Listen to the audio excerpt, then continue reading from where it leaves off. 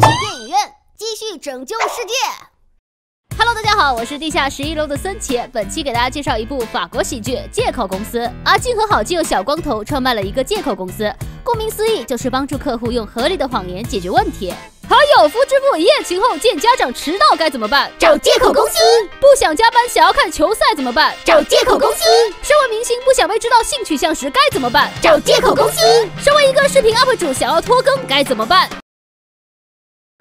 借口公司让你学会情商的投资，避免与他互撕，爱情事业通吃，生活更有意思。你还在等什么？赶紧联系我们吧！赞不赞？超赞的！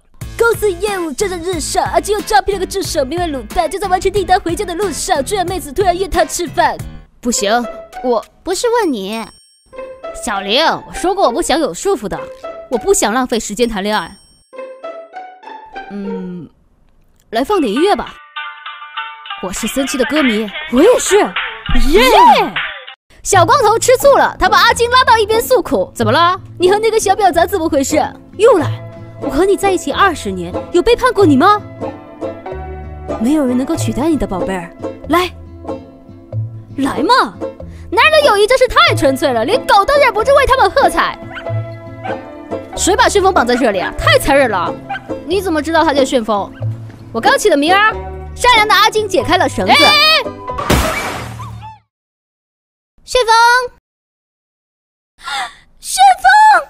善良的阿金陪同狗主人小美到宠物医院。小美非常自责：“医生，怎么样了？还能怎样？嗝屁了呗！”逗你玩的，明天来接你家狗。小美终于放下心来，她非常感谢阿金。他们在社交软件上加了好友之后，一起打保龄球。求你吗？谈话间得知小美是执法人员，她非常讨厌欺诈行为。阿金赶紧隐瞒了自己的身份，谎称自己是空乘员。他们一起比赛打保龄球，比分非常焦灼，很快到了决胜局。你不要看我，我会紧张。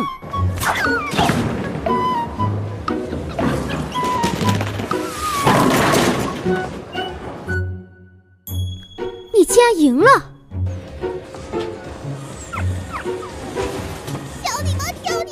金赶紧把旋风还给了小美，因为一条狗，他们在一起了。我是隔壁的鸽子，说出爱情的童话，听我说，咕咕咕咕咕咕咕咕。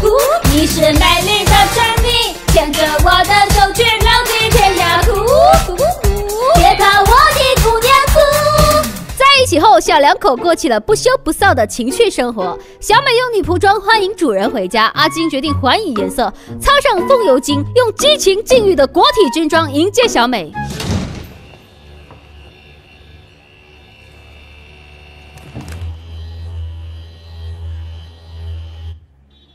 对不起，小美没说打扫阿姨会来，我是她妈。的时光总是过得特别慢，阿金终于被岳母批准上门见家长了。可是开门的小美爸爸是阿金的未来岳父，也是阿金的客户。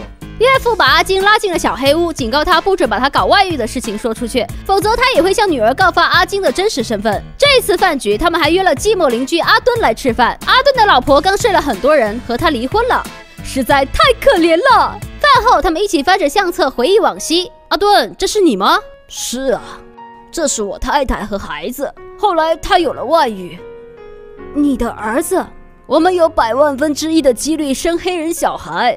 我们运气好，中了。有人花了一辈子买彩票都没中，而我们却生了黑人小孩。那这是谁？村长，大好人一个。六六六六六六六。这周末是岳父岳母三十一周年结婚纪念日，可惜岳父要去 A 城出差。巧的是，作为空乘员的阿金，这周末也要飞西城。寂寞的母女俩打算互相作陪，准岳父和准女婿四目相对，各怀鬼胎。很快到了周末，借口公司开始行动。阿金用岳父的信用卡在 A 城酒店留下入住记录，岳父则顺利在 B 城和小情人 Happy。岳父的偷情对象是一个一百八十 C 的歌手小老虎，抠门的他只能趁着景区打折来偷情。这么好的气氛，不刷瓶香槟来庆祝下吗？这里的香槟一千欧元一瓶，贼贵。岳父只好去便利店买了瓶十欧元的香槟，还从路边抓了一堆花花草草凑数。打算回酒店房间时，意外的发现妻子迎面向他走来，他吓得躲进了某个房间的衣柜。没想到这里正是妻女的房间。Surprise！小美没想到爸爸如此的浪漫，嘴上说着开会，实际上已经准备好了意外惊喜。此时已经过好 C 城风情景的阿金打视频电话给小美报平安。亲爱的，我带妈妈出门过周末，你猜我们遇到了谁？谁呀？Surprise！这下该怎么办？岳父躲进厕所给阿金通风报信。女儿小美的疑心病非常重，她已经谎称行李在机场弄丢了，但是她的戒指没带就太可疑了。你的戒指呢？在家衣柜的内裤里。OK，冷静点。他们首先要瞒住小脑斧，然后去岳父家拿戒指。他们假装警察打电话给小脑斧，告诉他岳父因为酒驾打警察被逮捕了。骗子嘛？要多少钱？我们不是骗子，只是他让我来告诉你，他会被拘留一阵子。哦，不要钱啊？那随便吧。之后他们打算摸黑潜入岳父家。我先去把电源给断了。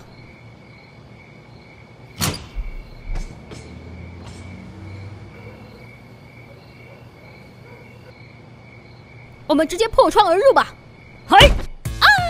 最后他们把监控干掉，顺利进了岳父家。没想到拿好戒指准备离开的他们，遇到了来威旋风的邻居阿敦。阿敦拿着岳母的照片，坐在了岳母的床上。我喜欢你看着我的样子，我真的好想你。原来阿敦一直暗恋着岳母。三人三观尽毁的逃离岳父岳母家。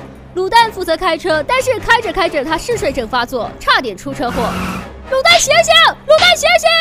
卤蛋卤蛋卤蛋！你竟然隐瞒你的病情！对不起，我需要这份工作，不然我就得和妈妈住一起。我下个出口就下车。你怎么还不停车？卤蛋！卤蛋醒醒！卤蛋醒醒！太危险了！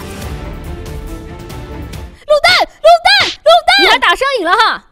接下来，阿金给岳父岳母安排了红酒品尝会，让小光头负责盯着，自己则假装音乐制作人去和小老虎会面。然而，岳母像脱了缰的野马，开着观光车溜了。小光头来不及跟上，此时他看到楼下有草堆，只要有草堆，多高都可以跳。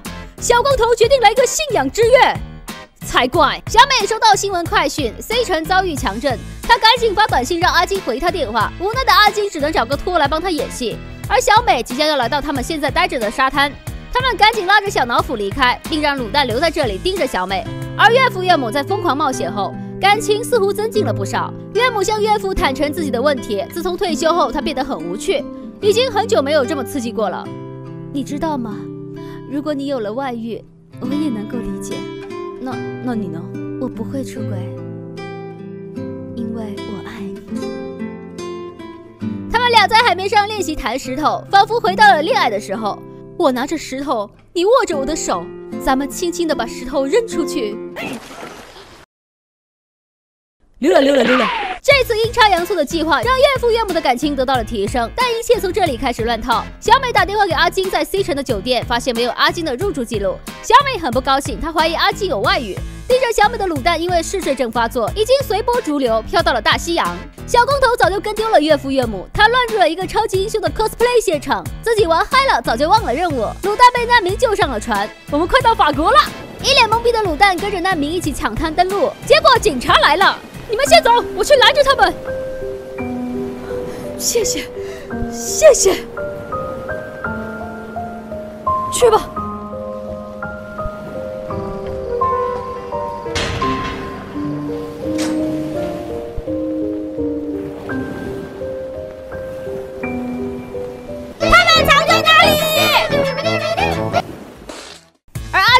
小老虎的车也半路抛锚，他们被当地的牧民带回了家。牧民告诉他们，有个混蛋把他们的马涂成了斑马。阿金吓得和小老虎一起偷车逃离现场，半路出了车祸，被小美发现了。醒来的他差点暴露了计划，还好签证上有去 C 城的记录。病人醒啦，先坐下检查吧。对了，医生。我们取消结扎手术。岳父临走前送给阿金一封信。经过这趟旅行，他决定不再偷情，希望阿金能够为他保密。然而百密终有一疏，拿着阿金外套的小老虎直接进入了阿金的房间，看到了他们的所有计划。他回法国后把一切都告诉了记者，客户名单也在网络上曝光。所有曾经找借口的人都得到了亲友的惩罚。小美不肯原谅阿金，公司也倒闭了。憔悴落寞的阿金还被客户寻仇。危难时刻，心软的小美挺身而出。小美最终原谅了阿金，有情人终成眷属。故事结束。这个电影告诉我们，借口一旦生成，你就会不断的用借口去掩盖上一个借口，进入一个恶性循环。大家千万不要学习哦。同类型异想天开的电影，还有之前解说过的《恐惧有限公司》《意外制造公司》，感兴趣的小伙伴可以去重温一下我的解说。我们下期再见，拜拜。你们最近过得咋样？我们开了一家修复破碎关系的新公司，生意还不错。